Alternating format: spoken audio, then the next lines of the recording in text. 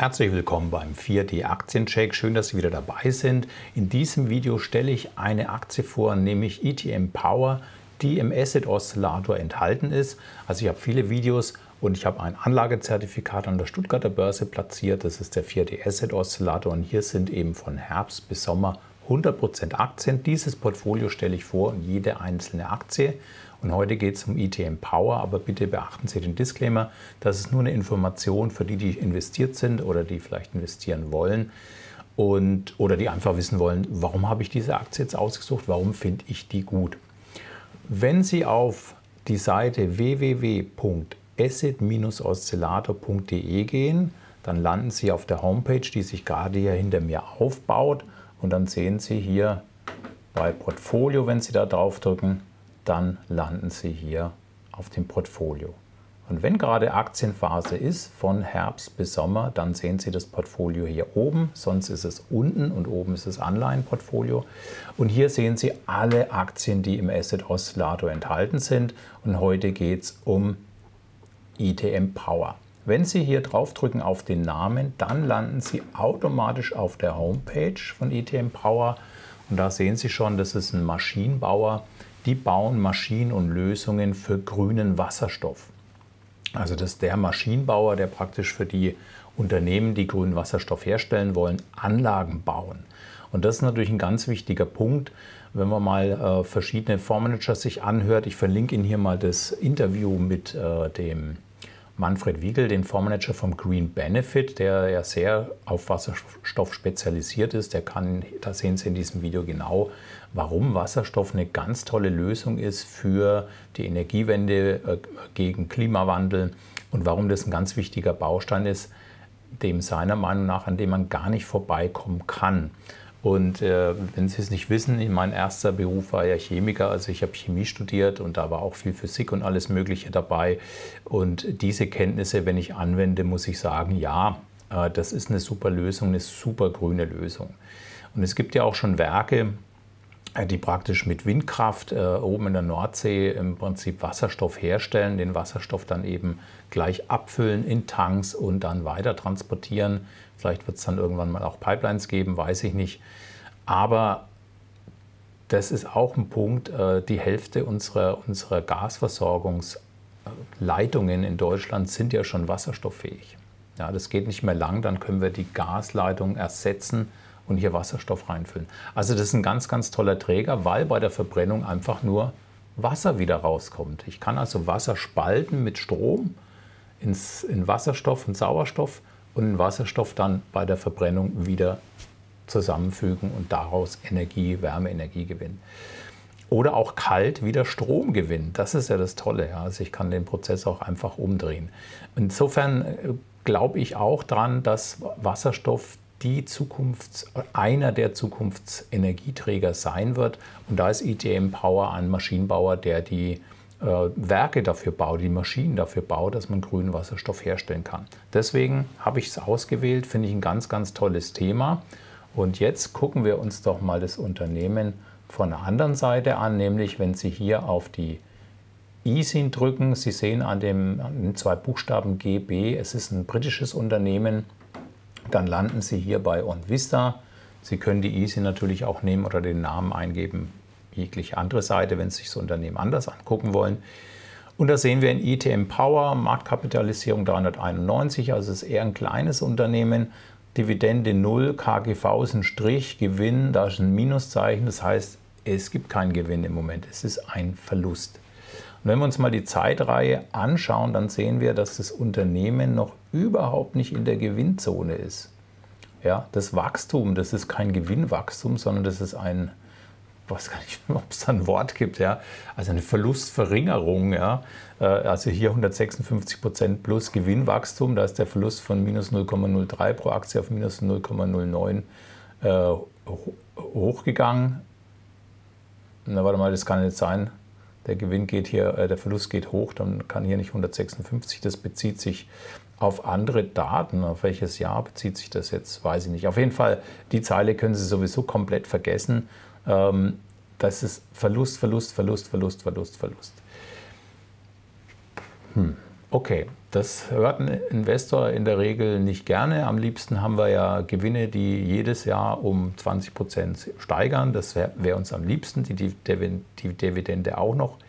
Äh, das ist hier nicht der Fall. Das ist ein typischer Wachstumstitel. Das heißt, hier setze ich dran, dass die Branche wächst, dass das Unternehmen wächst und in die Gewinnzone kommt. Und wenn das der Fall ist, dann werden die Kurse richtig explodieren.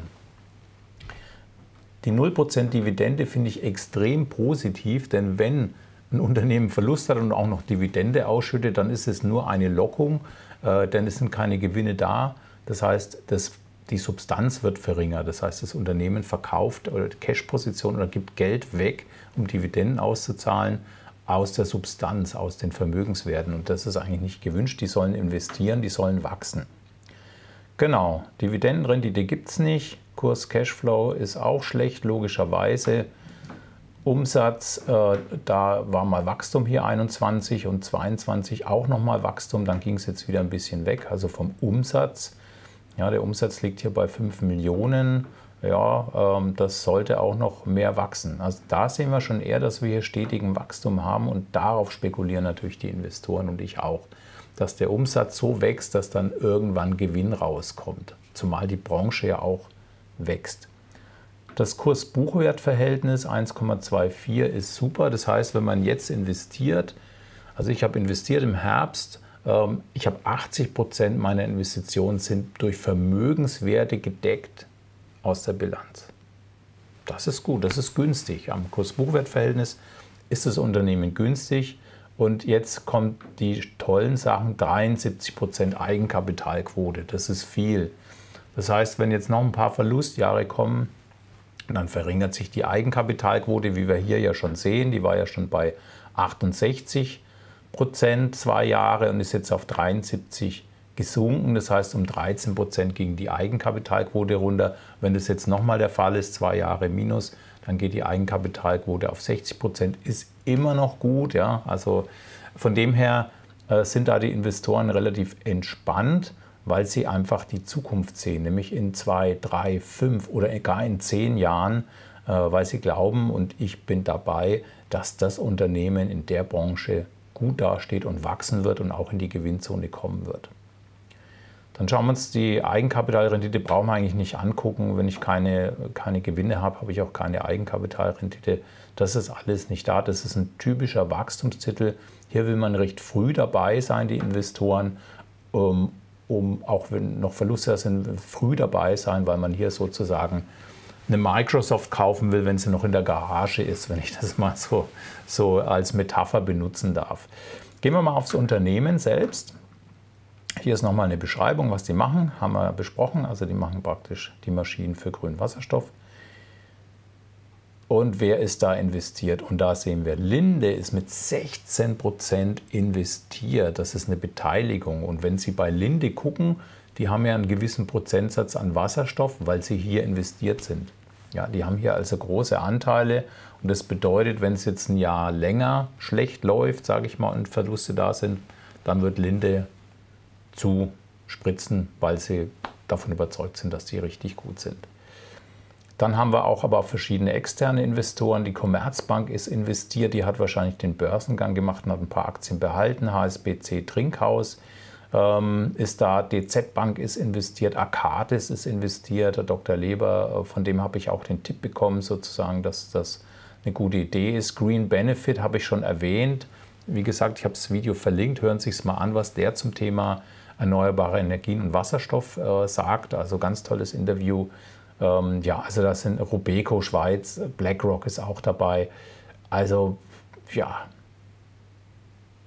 da ist man guter Gesellschaft als Investor und ich bin davon überzeugt, dass hier noch ganz viel Musik drin ist in dem Chart, der jetzt natürlich nicht so toll aussieht, aber auch schon mal ein bisschen zeigt, wo es, wo es langgehen kann. Also im Moment das letzte Jahr war ja 23 und Anfang 24 kein gutes Jahr für erneuerbare Energien, für kleine Unternehmen generell. Die hinken den Großen hinterher. Die Anleger sind alle auf die Großen gesprungen. Das wird nicht so bleiben. Und wenn wir mal zehn Jahre gucken, dann sehen wir hier, wow, ja, Da gab es irgendwie um, das waren die Jahre, wo der Umsatzwachstum kam und dann schießt die Aktie. Dann gab es noch Wasserstoffhype ja auch noch hier äh, 2020, 19 hier.